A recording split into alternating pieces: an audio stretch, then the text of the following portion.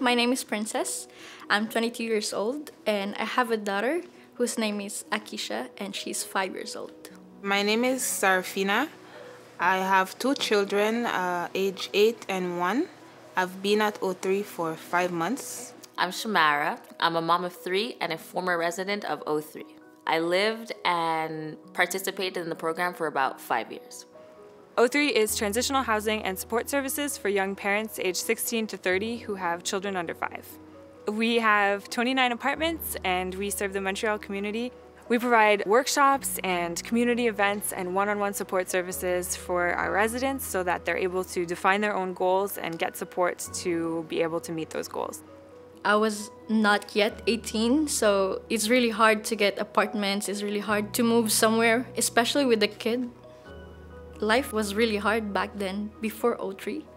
My life before I came to O3 was very much a roller coaster.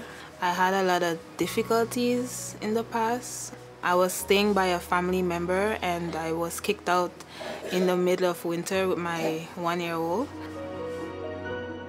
I think because O3 is committed to their goal of seeing women become independent and being able to do for themselves, it makes it easier for them to like come up with programs and workshops that like help bring it out of us. um, from anything to do with like art, like the cooking, um, the outings that we go to. Like I've, I've seen it with my own eyes and I'm an example of it. Like just how that uh, that confidence and independence can quietly grow.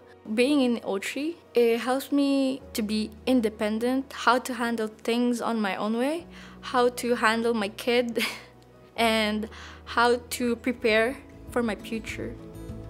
My mental health since I came to O3 has been much better than it was in the past because I've been through a lot of traumas before I got here. I seem very much more happier.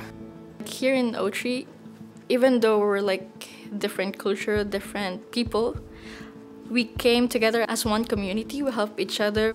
It feels really good to to have a community like this because people become one.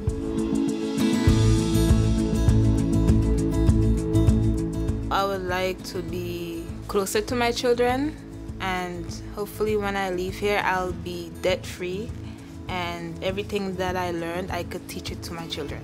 I'll say my confidence level is high because I know that since I came here I'm on track. I overcome everything, the challenges, and now I'm proud where I am. O3 is a great place. It's the place you should want to come to. They have so much support, a lot of resources, and I know it could be a little intimidating at first.